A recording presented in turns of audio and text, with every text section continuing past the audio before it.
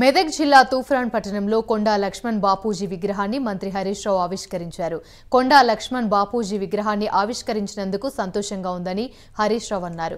బాపూజీ జయంతి వర్ధంతి కార్యక్రమాలను తెలంగాణ ప్రభుత్వం అధికారికంగా నిర్వహిస్తుందని తెలిపారు. కేసీఆర్కు ముందు కేసీఆర్ వచ్చాక తూఫ్రాన్ పట్టణంలో ఏం జరిగిందో మీరే తెలుసుకోవాలన్నారు.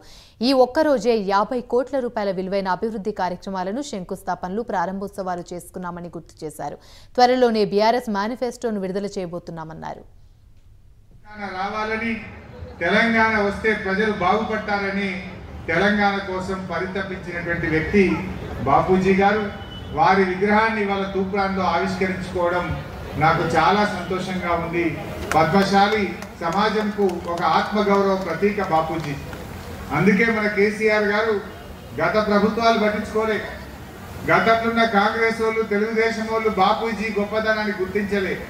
మన కేసీఆర్ గారు కొండా లక్ష్మణ్ బాపూజీ జయంతి వర్ధంతులను అధికారికంగా ప్రతి సంవత్సరం ప్రభుత్వమే నిర్వహిస్తుందని చెప్పి కూడా మీకు